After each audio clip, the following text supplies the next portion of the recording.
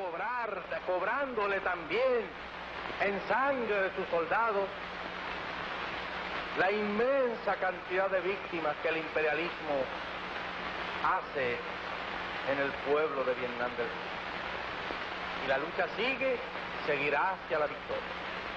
Empezó incluso antes que la nuestra en el norte. Se consolidó antes que nuestra revolución pudiera siquiera llegar triunfante a la base. Pero todavía debe seguir luchando. Y Laos está en las mismas condiciones.